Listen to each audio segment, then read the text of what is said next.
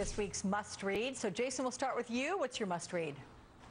Uh, Killing in Self-Defense, You Better Be White by Danielle Belton at The Root. Look, I, I'm a numbers guy, and this article puts in stark reality the empirical facts that stand your ground laws have the unintended consequence of basically making it easier to kill black people if you're white than a black person who kills somebody else.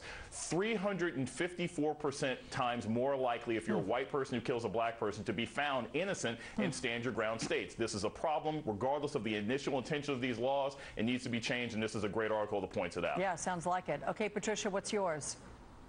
Mine is a profile in today's Washington Post of Kevin Orr. He is a turnaround specialist, corporate lawyer, and is now the new emergency manager for the city of Detroit. He has incredible background, great credentials. It's the reading this profile was the first time I thought Detroit might be okay. I think I think they've got a good guy in Kevin Orr, and it's a great read. Well, that's good, even with the 18 billion that they owe, or some such uh, incredible amount. Yeah. All right, Robert, how about yours? The New York Times has a great obituary on Helen Thomas, who just passed over the weekend. Talk about a Mm. Pioneer, talk about a trailblazer, talk about someone who literally paved her own way. Very similar to Barack Obama, just in terms of breaking the glass ceiling. It is a must read for anyone who is interested in journalism and interested in, in fair equality. Totally amazing. And when you look at her life through pictures, through these 10 presidents that she covered, it's pretty extraordinary. So, anyway, thank you all so much. Jason Johnson, Patricia Murphy, and Robert Traynham. I appreciate that.